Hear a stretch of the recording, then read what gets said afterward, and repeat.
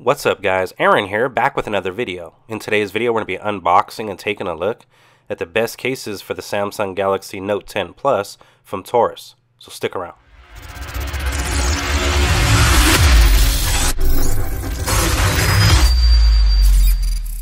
Welcome back and huge shout out to the folks over at Torras for sending out these cases. Links to both cases will be available in the video description.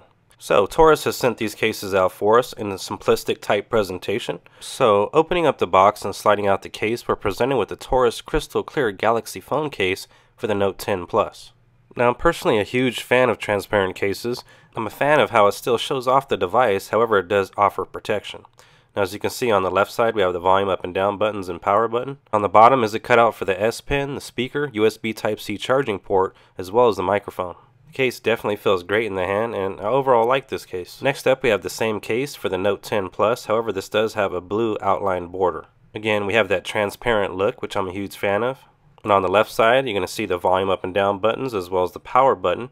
As you can see that really nice color blue. And on the back is a cutout for the camera system, microphone, and flash.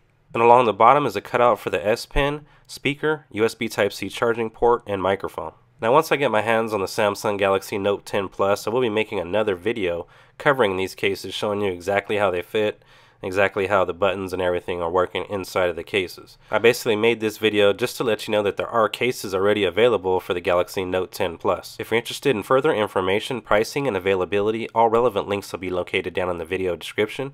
Please be sure to drop a like rating down below, subscribe to the channel for future content, and I'll see you guys on the next one.